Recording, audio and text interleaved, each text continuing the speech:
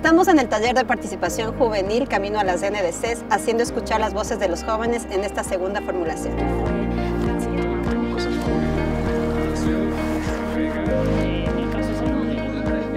Nosotros podemos generar los cambios si hacemos ahora, porque muchas veces nos dicen que somos el futuro, pero en un futuro ya va a estar hecho el daño, sino que ahora es importante involucrarnos para poder cambiar ese futuro.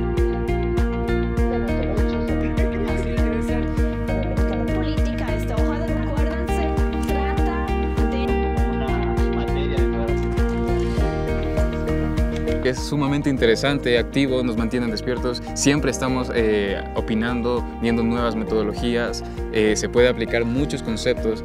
Todo esto que estamos viendo nos permite comprenderlo desde un punto de vista diferente, poder conocer cuáles son los efectos grandes, los efectos macro de esta clase de, de cambio climático.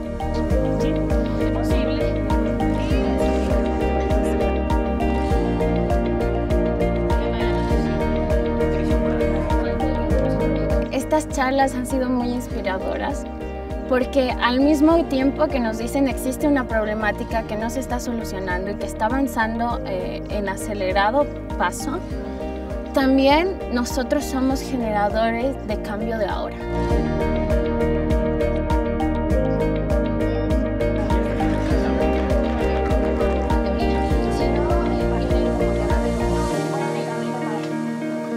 Contribuir a la NDC es contribuir a que el país se desarrolle y se desarrolle en un camino de sostenibilidad.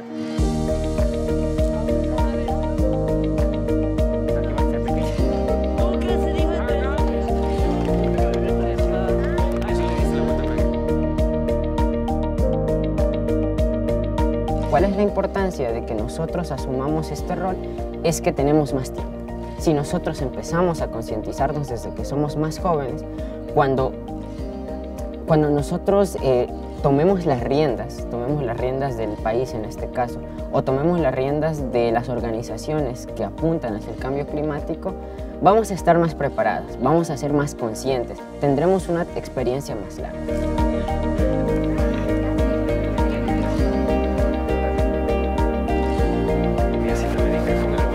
La crisis climática es una crisis de los derechos de la infancia. Por eso hemos convocado a más de 30 jóvenes de todo el país a que participen en este espacio. Y es importante que sus ideas y sus voces sean escuchadas en los compromisos que el país asumirá durante los siguientes años para atender la crisis climática actual.